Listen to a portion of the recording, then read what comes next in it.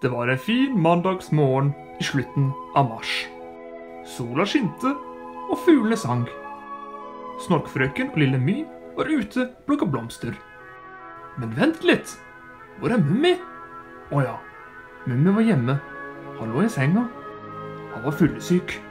Han har vært ute med mumrikken og drukket hele natten.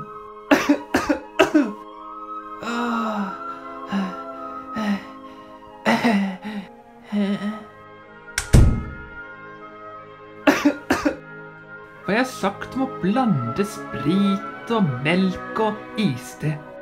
Mumrik tvang meg til å gjøre det, og han er Mumrik. Hva har jeg sagt om å henge med han? Hva er det her egentlig?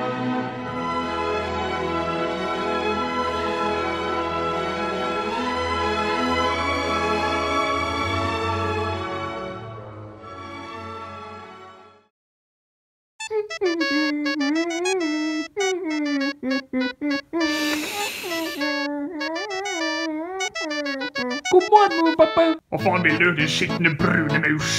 Uh, er Mummi hjemme? Han er fyllesyk, hører du det? Så hvis jeg var det, hadde stokket av faen.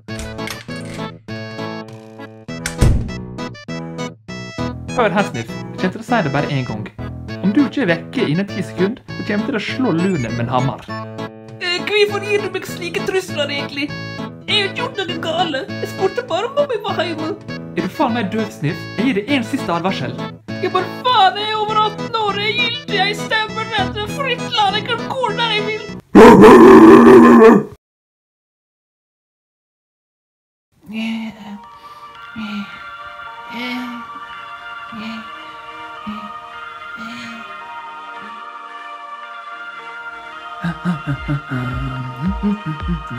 Hæ?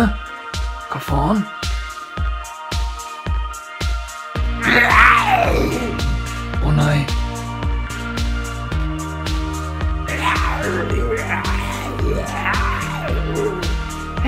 Mumrik! Hei, Mummi! Ja, men faen, da. Noe feigt etter det. Herregud, det er ikke lov å fly. Fy faen, Mummi. Takk for at du redda meg. Det er bare hyggelig, det, min gode venn. Fy faen, Mummi. Bare se hvor langt ned det er.